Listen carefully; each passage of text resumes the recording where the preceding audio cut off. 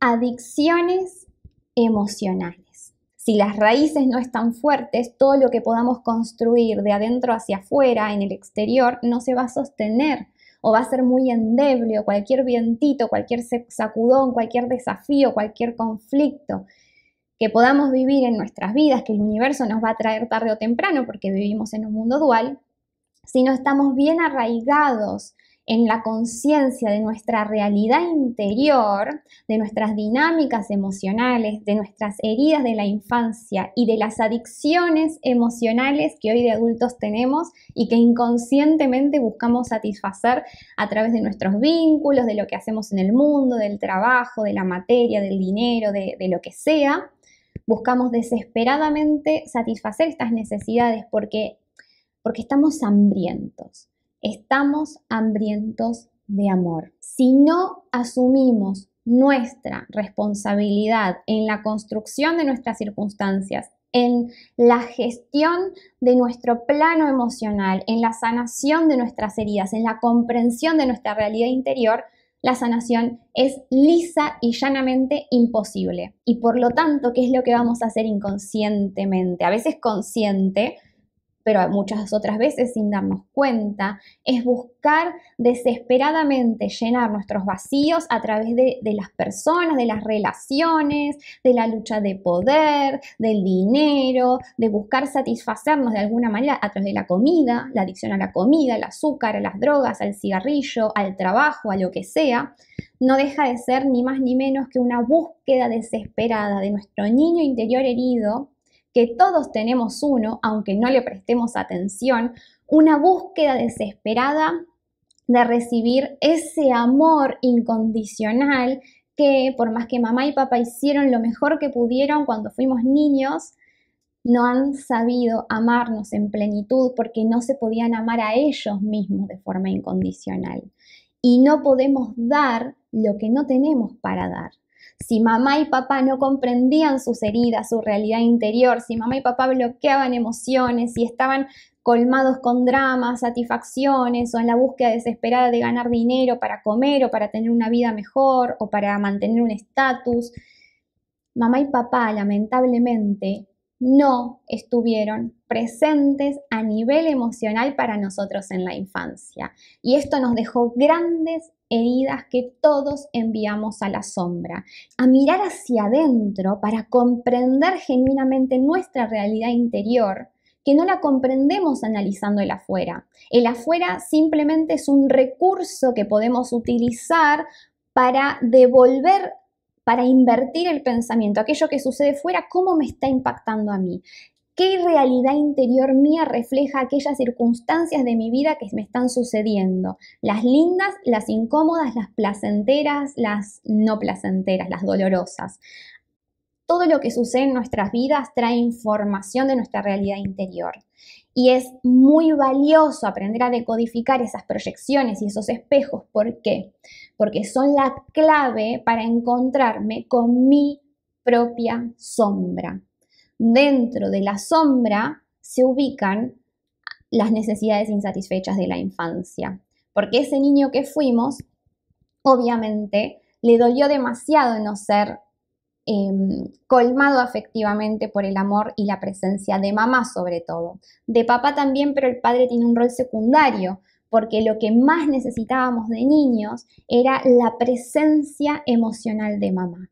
Y eso es exactamente lo que no tuvimos ese amor que necesitábamos de mamá y que no obtuvimos, lo empezamos a desplazar, a buscar en otros lugares donde nunca vamos a encontrar la satisfacción de esas necesidades que en el fondo solamente podían haber sido satisfechas en la infancia y no lo fueron. Hoy que somos adultos, la responsabilidad de uno comprender nuestra sombra, habitar esos espacios dolorosos, comprender cuáles fueron nuestras necesidades insatisfechas, porque si yo evado, mantengo inconsciente estas cuestiones, no hay manera ni siquiera de que pueda empezar la sanación, porque no me doy cuenta que hay nada para sanar. Entonces tengo que estar atento. ¿Cómo me doy cuenta si tengo cosas para sanar? Y si tengo conflictos y dramas en mis relaciones, si no me gusta mi trabajo, si no encuentro mi vocación, si me llevo mal con mis amigos, si no, no me puedo arraigar, no encuentro pertenencia en ningún lado, si enfermo todo el tiempo, si vivo accidentes, todo lo que suceda en mi exterior me va a traer información de lo que no he resuelto todavía a nivel interior. Cuando nosotros hacemos vacío, cuando nosotros dejamos ir, cuando nosotros comprendemos genuinamente nuestra realidad interior, nuestro hambre, nuestras heridas, nuestras carencias y cómo estamos buscando satisfacer esas adicciones emocionales a través de los vínculos con los demás, se presenta la oportunidad de asumir la responsabilidad y ahí sí que la sanación es posible. Si yo no hago este trabajo de responsabilizarme, de autoindagarme, de ir hacia adentro, es mentira que elijo. Mis automáticos, mi sombra, mi inconsciente y mis heridas van a estar creando la realidad en mi lugar. Y luego yo me voy a quejar y voy a culpar a los astros y al destino y voy a asumir un papel de víctima desempoderada de mis circunstancias cuando en verdad tengo muchísimo más poder del que creo. Y hasta que no tome conciencia de mi poder, la libertad no va a existir en mi vida. Somos seres humanos adictos a nivel emocional. ¿Por qué? ¿Adictos a qué? A satisfacer de forma inmediata visceral, automática, sin que nos demos cuenta, a llenar nuestros agujeritos, nuestros vacíos emocionales. ¿Cuáles son esos vacíos emocionales? Bueno, están dados por las necesidades insatisfechas de la infancia. Todos los que estamos viendo estos videos, de hecho la mayoría de nosotros, que crecimos, por más que hayamos crecido en diferentes culturas, en diferentes países, en diferentes familias, con diferentes religiones y formas de ver la vida, todos hemos crecido compartiendo una característica que nos une a todos, que es el sistema imperante en cualquier lugar del mundo de dominación de los adultos sobre los niños, del más fuerte sobre el más débil. ¿Quiénes son los más fuertes? Bueno, son los adultos. Y los niños que nacemos muy inmaduros a nivel emocional, muy inmaduros a nivel físico también, somos absolutamente dependientes para sobrevivir. dependemos de que mamá o la figura maternante que la reemplace, pero hablemos de mamá porque somos mamíferos, ¿sí? Dependemos de que mamá garantice la satisfacción plena de nuestras necesidades de forma que podamos sobrevivir. Ahora, esto lo explica muy bien Laura Goodman en todo su trabajo, ¿no? Así que voy a decir algunas palabras. Sepan que esto que, voy a hablar hoy se complementa de forma maravillosa con una masterclass de tres horas que está disponible para acceder de forma inmediata en mi sitio web que eh, se llama Infancias Olvidadas, Violencias Silenciosas y Luchas de Poder. ¿sí? Esta masterclass de casi tres horas fue impartida originariamente como parte del curso de sombra, proyección y espejos, pero quedó tan buena y además está como eh, los, temas que trabajamos están como un poquito aislados del resto del contenido del curso y se puede entender perfectamente sin hacer el curso de sombras. Entonces decidí posibilitar la adquisición por separado en el, em, en el, en el sitio web, en la tienda online de mi sitio web. ¿Por qué? Porque hay gente que quizás quiere tocar este tema y no tiene ganas de hacer el curso completo. Así que sepan que si en todo lo que vamos a hablar hoy quieren profundizar, pueden acceder de forma inmediata a esa masterclass que el link les voy a dejar aquí abajito y, seguramente la etiqueta por algún lado, ¿sí? por aquí arribita. Entonces, lo que, más, lo que más necesitamos cuando somos niños es una cierta eh, satisfacción, obviamente, de nuestras necesidades materiales, que nos alimenten, que nos cambien el pañal, que nos abriguen, por supuesto, y eso la mayoría de nosotros lo tuvimos. Pero claro, en este mundo en el que vivimos y cómo están construidas las diferentes sociedades, por lo general se, se predomina, le damos más importancia a la satisfacción de las necesidades materiales y nos olvidamos absolutamente de la satisfacción de las necesidades emocionales y espirituales de ese niño que en algún momento fuimos, que obviamente se convirtió en el adulto con hambre emocional que hoy somos. Entonces, ¿por qué motivo mamá no podía regalarle al niño que fuimos esa presencia y esa disposición emocional? Bueno, porque mamá tenía una gran sombra, como todos nosotros, de la que llevó toda su vida, invirtió un montón de energía para escaparse de ese dolor. Porque claro, porque no tenía recursos para gestionarlo, porque nadie le enseñó, porque es mejor bloquear el dolor de alguna manera para sobrevivir, eso es lo que aprendimos en la infancia, y entonces mamá, al no estar consciente de sus propias heridas, de sus propias carencias emocionales, de su propia sombra, y además mamá al no hacerse responsable de cómo ella colaboraba, eh, esto de somos co-creadores de nuestra realidad, nuestra sombra siempre se va a manifestar en las relaciones y en, los desafíos que nos tocan vivir. Entonces, si nosotros vivimos, por ejemplo, un drama vincular, no podemos seguir pensando a esta altura que la responsabilidad y la culpa es 100% de mi pareja, porque las relaciones se construyen de a dos.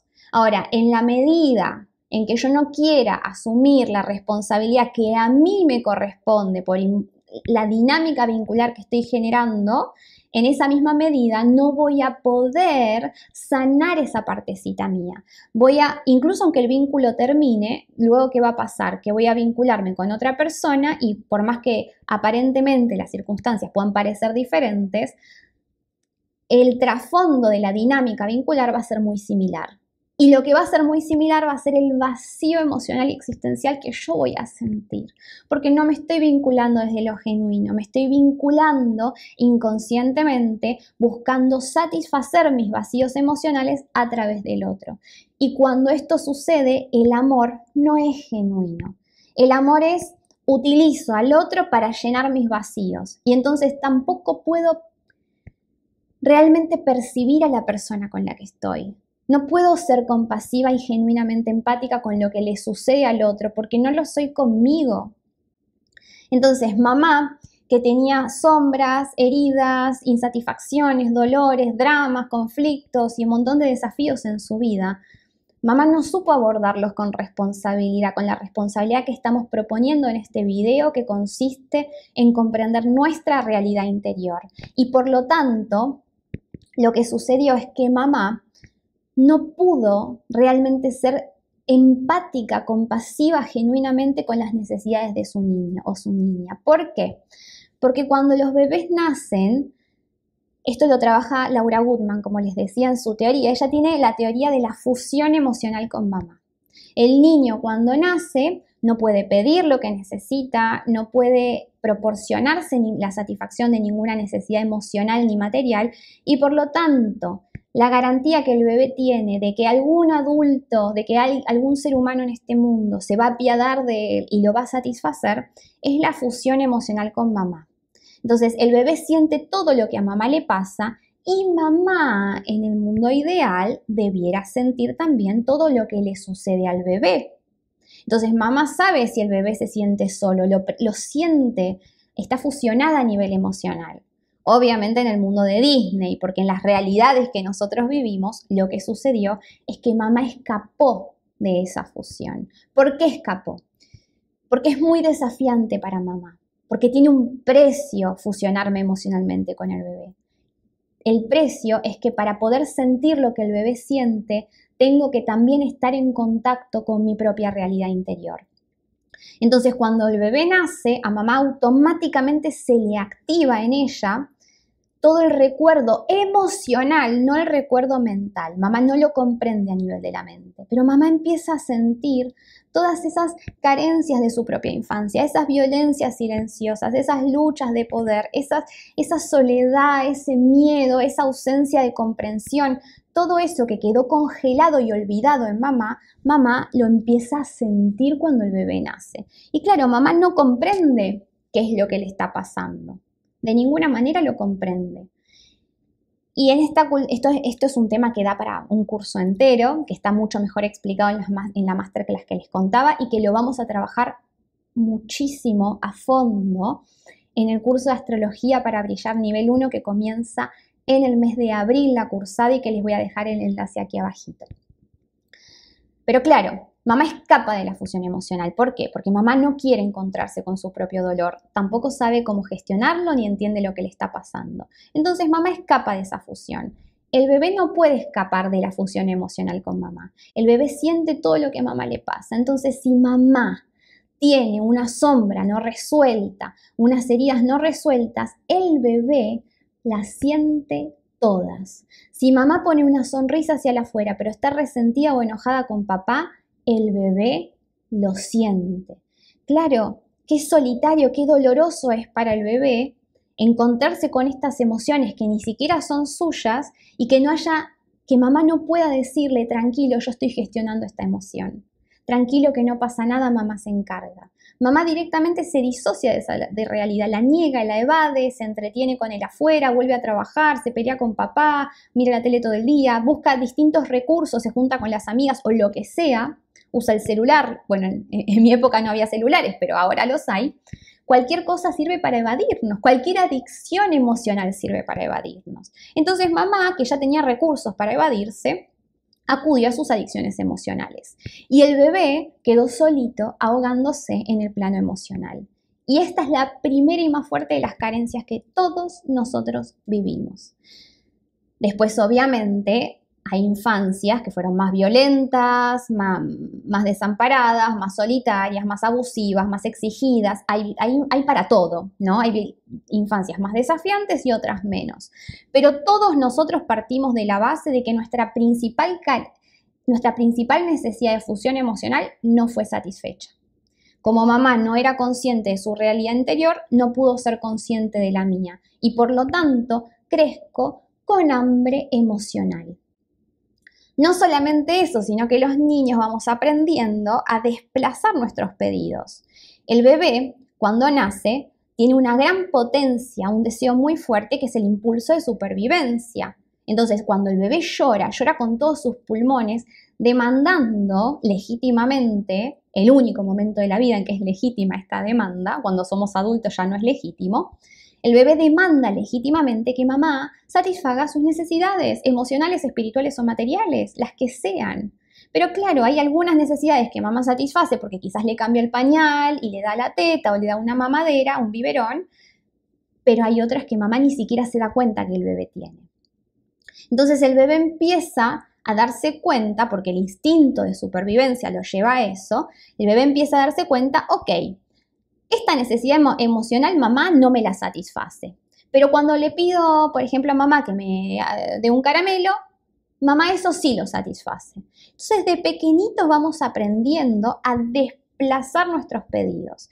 Cuando demandamos amor, o atención o presencia emocional, no lo recibimos. Pero cuando pedimos un caramelo o un juguete nuevo, sí que, o, más tiempo en la televisión, o más pantallas, o más celular, o más jueguitos, o lo que sea, ahí sí que mamá y papá me lo pueden proveer, me lo pueden proporcionar.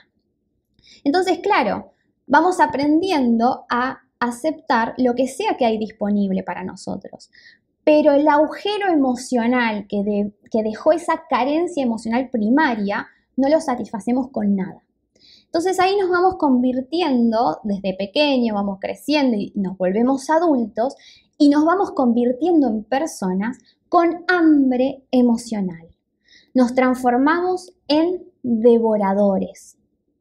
Y esta es la base de las luchas de poder en las relaciones, porque cuando nosotros ingresamos a un vínculo, no ingresamos para amar al otro genuina e incondicionalmente. Lo que buscamos es satisfacernos a través del otro. ¿Satisfacer qué cosa? Bueno, las necesidades que este, hayan quedado reprimidas y bloqueadas y en la sombra. Atención, amor, afecto, reconocimiento, lo que sea. Entonces, en lugar de darme cuenta de mis carencias y dármela yo a mí misma, reconociendo y aceptando lo que pasó en mi infancia, que ya hoy no lo puedo cambiar, solo aceptar y transformarme a partir de eso, claro, cuando yo no hago este proceso de toma de conciencia y no me doy cuenta cuáles son mis carencias, mi sombra me va a llevar inconscientemente a buscar con hambre y desesperadamente acudir a cualquier adicción emocional para llenar mi vacío. El gran problema de esto es que podemos fumarnos todos los cigarrillos del mundo, comer todas las tortas de chocolate del mundo, trabajar todo el día, entrenar todo el día, podemos, eh, no sé, eh, formar una relación codependiente y simbiótica con la pareja, que todo esto lo único que nos proporciona es una aparente, una paz aparente, porque es cortita, tiene, nos satisfacemos por un tiempo muy cortito y automáticamente, ¿qué, vuelve luego? Se vuelve a despertar el hambre, porque la carencia no, la, porque hoy que somos adultos, esa carencia no la podemos llenar con nada externo.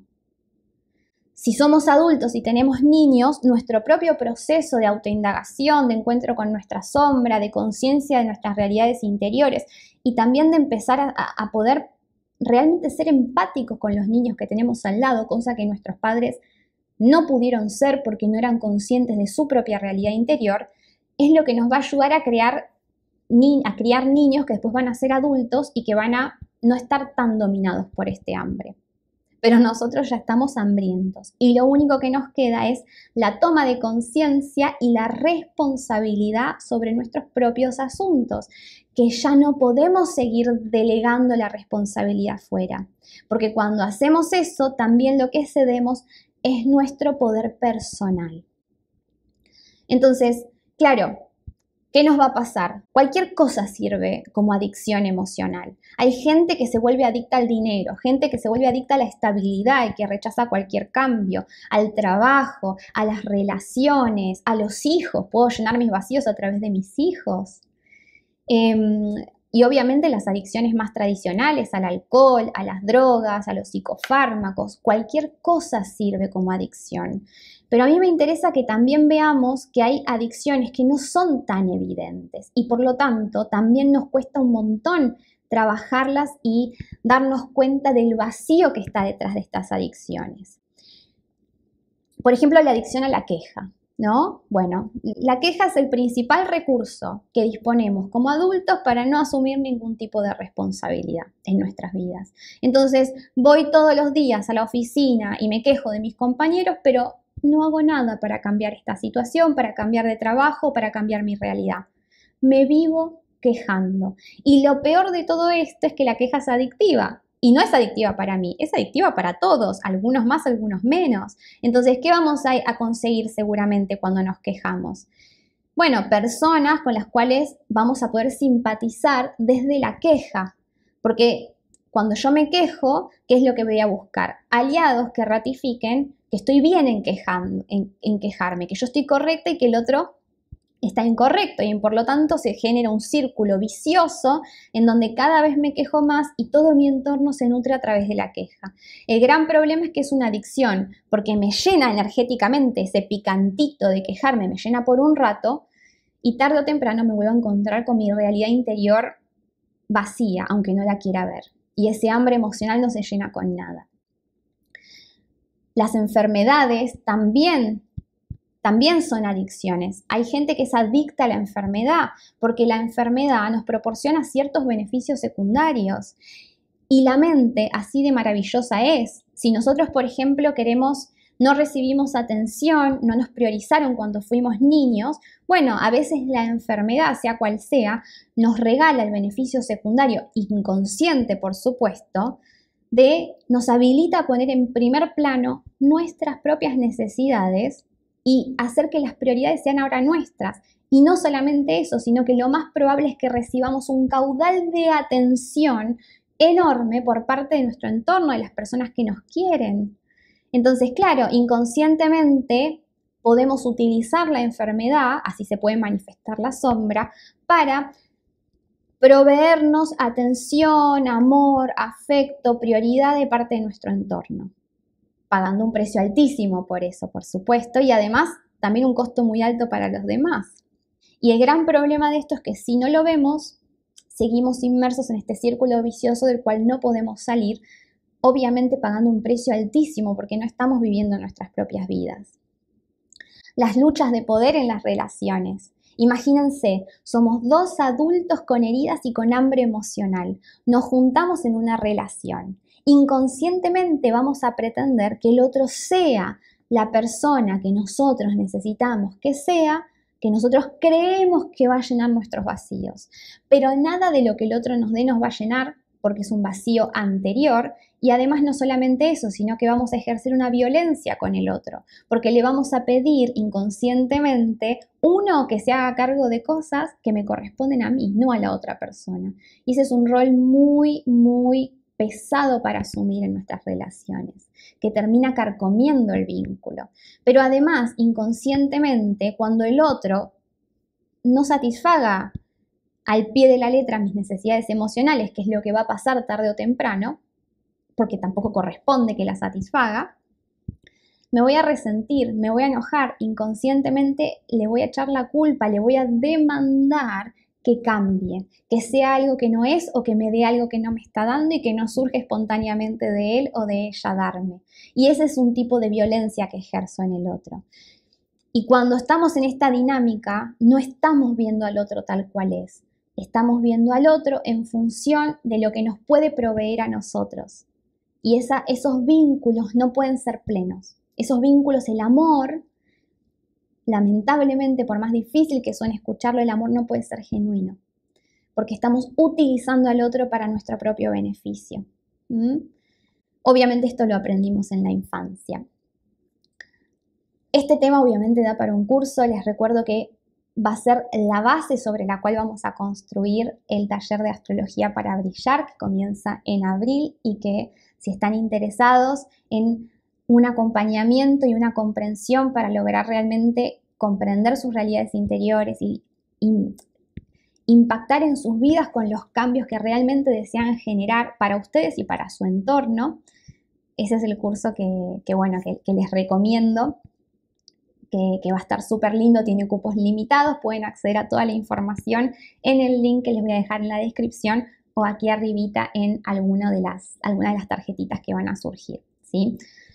Lo que nos tiene que quedar en claro es que para curar las adicciones emocionales no se curan con más relación, con, con, más comida, con más cigarrillo, con más trabajo. Nada de eso me va a llevar jamás.